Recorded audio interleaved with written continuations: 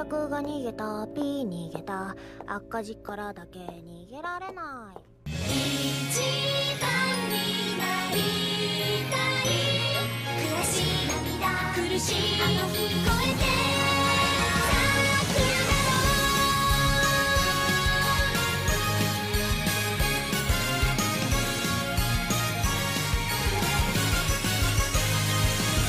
私らしく。可愛らしく。果肉らしく。私もたまに五条くんのことマネージャーさんって呼んじゃうことあるもんはは。それは合ってんだよな。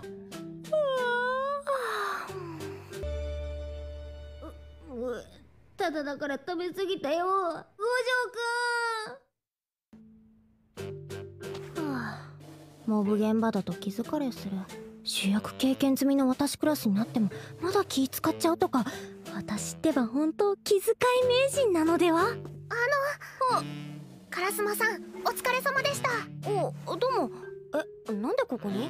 この後こちらで収録なので早めに来て見学させていただいていました。へえ私も真面目だけどナナミも大概真面目だよね。もっと気楽に声優やりなよ。ととんでもないです。烏丸さんと違って私まだまだまだまだの新人ですから。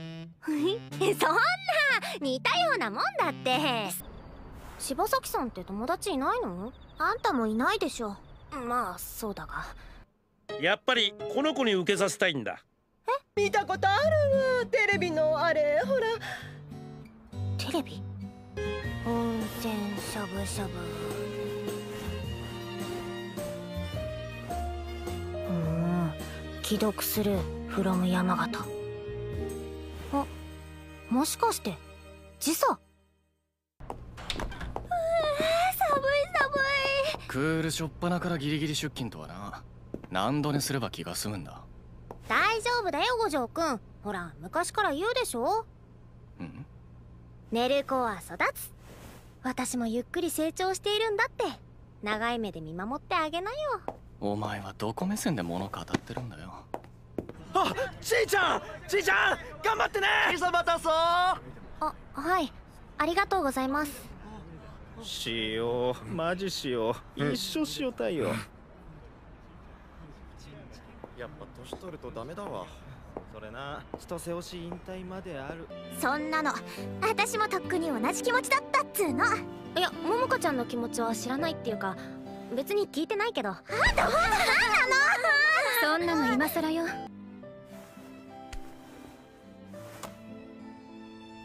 千歳お前はすごいよもっと言って。お前はすごい。もっと。お前はすごい。大したやつだ本当。具体的に。ぐああ何がすごいってまあそれはあれだが、うん、とにかくすごいことはすごい。だからまあすごいな。何それ。五条くん褒めるの下手すぎ。でも分かったすごい私が売れないこの業界ってやっぱおかしいってこと。は？だからね売れるように頑張るの。私は私のために頑張りたい。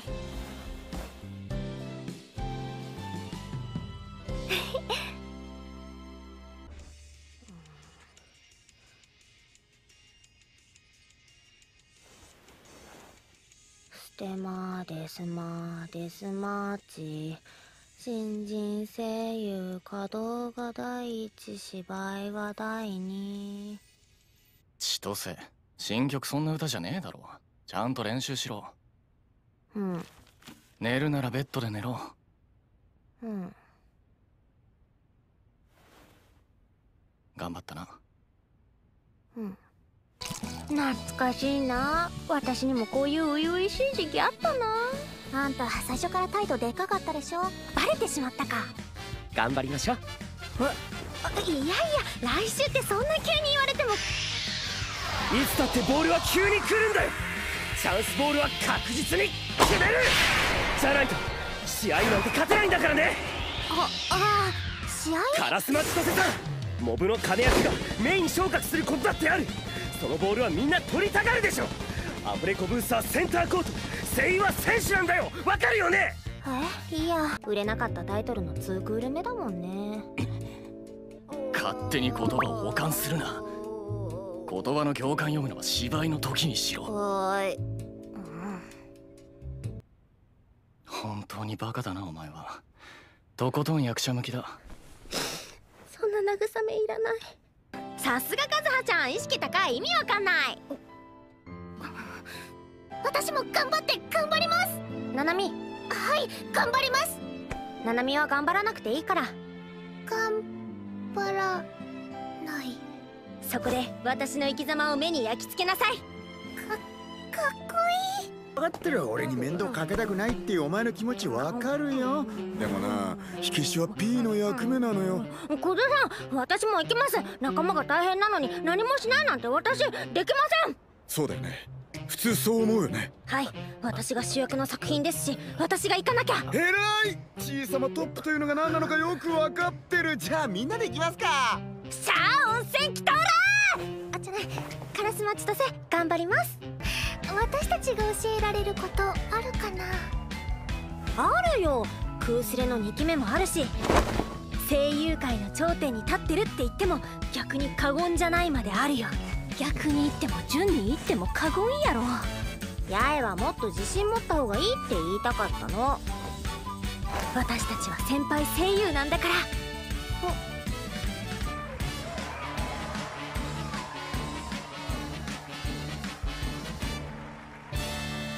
ん。皆さんくんばんす。はいくんばんすくんばんす。このクソ挨拶慣れないな。なんか顔合わせづらいし。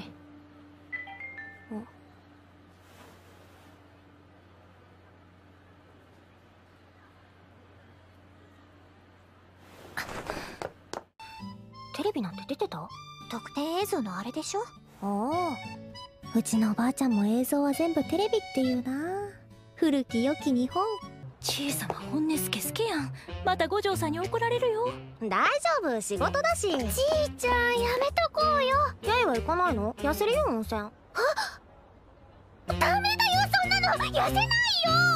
月の負の99だとかいなと。メール順調に減ってるな。再生数も下がってるし言うて私も今月で一つ年取るし。あそうなんですか？おめでとうございます。お祝いしなきゃですね。いいってそんなの。ななみは優しいね。可愛がりたくなっちゃう。ダメ。なんで？私リーダーだよ。座長だよ。仲間のピンチには駆けつけないと。なら現場で支えてやればいいだろう。そもそも。お前が一番足引っ張ってるじゃないか。グズさんは一緒に行こうって言ったのに。あプロデューサー命令ということはやはりこれは仕事の範疇なのでは？ダメ。いいじゃん。どうせ私仕事ないんだよ。仕事のないクソ雑魚新人だから一生暇なんだよ。なぜそんな恥ずかしいことを強気で言えるんだ？温泉行きたいよ。たまにはいい目見せてくれないとやる気なくなるよ。そんな暇があったらもっと台本チェックしろ。山形いいとこ一度は行こう。顎足枕ついでに土産全部込み込み経費ジャブジャブ。山形牛もすき焼きジャブジャブ。行きたいよ！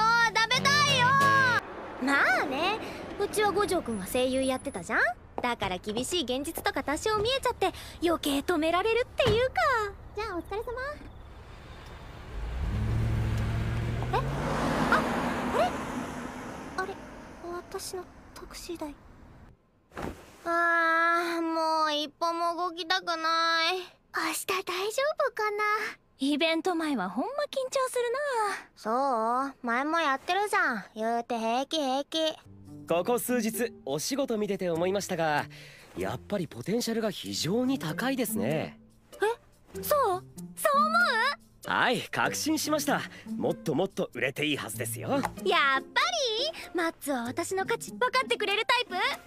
でも現実は必ずしもそうではありません。烏丸さんに不足しているものは何だと思いますか？売ろうとする事務所の熱。ナイスジョーク。あ。そう努力です。はい。1に努力2に努力。3子も努力で死ぬまで努力。烏丸さんには確かな下積みが必要ですよ。下積み。それさっき聞いたしいろんな意味で重いなこの人は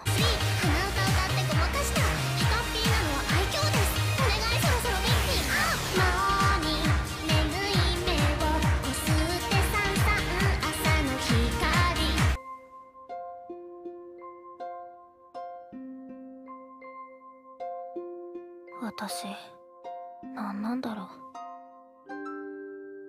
いつまで応援してもらえるのかな。次の役だって大きい仕事じゃないし番組終わったら忘れられちゃうし消えた声優とか一発屋とか使い捨てとか言ってもらえればまだいいけど。多分その枠にも入れないよ。売れちゃおう!気楽に!それが聞きたかった。まったくなんて声優だ。二度と使いたくない。なるほど。あくまでもサブタンですね。うーん。まだ変わらないんだ。わかる。烏丸さんの気持ち痛いほどわかります。おシュラシュシュシュ？サプライズの段取りはまだ確定してないの？おめでたいことだから派手に盛り上げろって社長がステージの都合もあるんだから。照明片倉さんきっかけだっけ？ちゃんと伝えておいてよ。サプライズ？あ？あ私の誕生日か。写真を撮ってアップ。ップ謎の発光大活躍。フィルターいっぱい科学は女子の。ふんそれよりなんつう格好してんだ？風邪ひくだろ。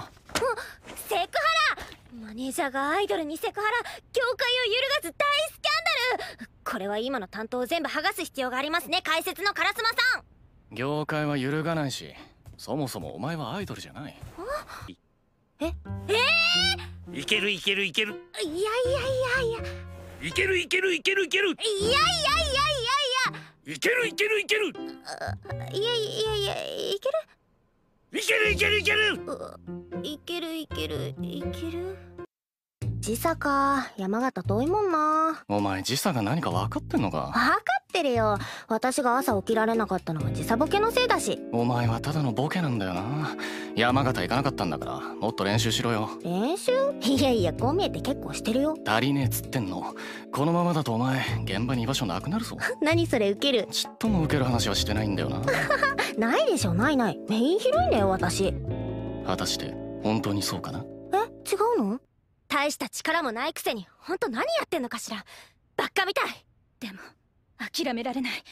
こんな理不尽なこと許せない。重圧に押しつぶされてた。誰かの顔色を伺ってた。言い訳考えてた。平気だよって。辛くないよって笑って。そんなわけないよ。弱くても辛くても卑怯でも。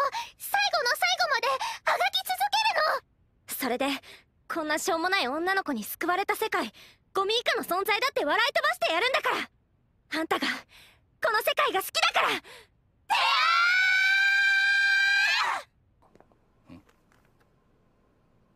はあ。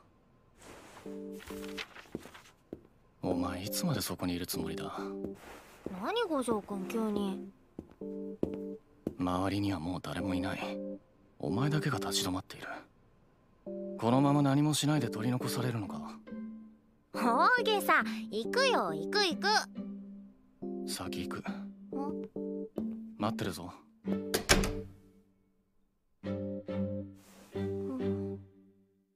こないだのお土産まだもらってないんだけど。お土産もどうでもいい。問題はあなたなのよ。あなたの後からデビューした人が出たの。もう新人なんて言ってられない。あなたは立派なプロになってしまったの。その意味きちんと考えなさい。そっかお前すごいな。この番組見てんのかよ。ファンなのフ今ァンの人なの？判定で壊れてしまう突然ですが実はここでサプライズがあります。ええー、一体なんだそれはななみちゃん CD デビュー。おめ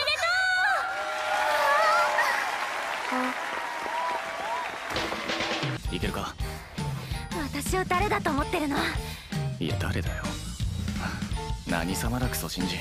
五条君やばい。何がやばいってマジでやばい。やっぱりかもバーだからあれほどちゃんとしろと。違う違う違うんだよ。この間は雪のせいで今日は、えっと、株価が下がったからだよ。景気が悪いからだよ。何もかも政治が悪いんだよ。だから私は悪くない。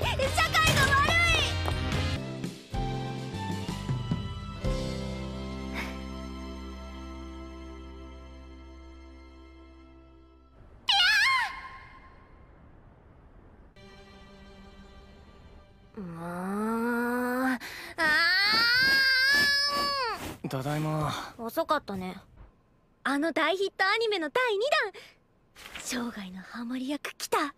これはもう勝ったな。どこにオーディション通る根拠があるかわからんが。あ。そもそも各事務所各役一人の制限がかけられているから。つまり？オーディション受ける人数を絞らなきゃいけないってこと。そうなんだ。他の子かわいそうだね。なんでお前が通る前提なんだ私もうすぐ誕生日だしいいプレゼントになっちゃうね。世界の中心にいるのかお前は。ままあ今はまだね。ナナミは今日初めて私たちの演技聞いたかもだけどそれって後々超レアリティが高い経験になるもんとんでもないですあのクースレのアニメずっと見てました。カラスマさんの言うな。5話の叫びがとてもよくって。え？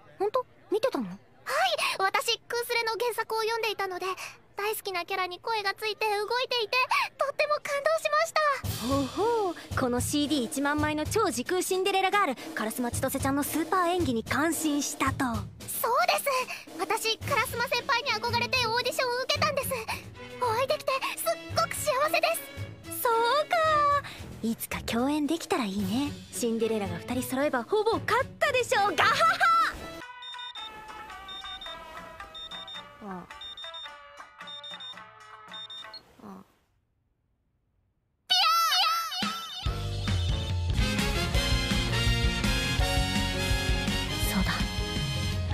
ソ新人で何様でも誰でもない。だからカラスマ千歳になれる。うん。あ本当はちょっとやってみたかったのまあいいんじゃない？ええね。そしたら掛け声はちーちゃんだね。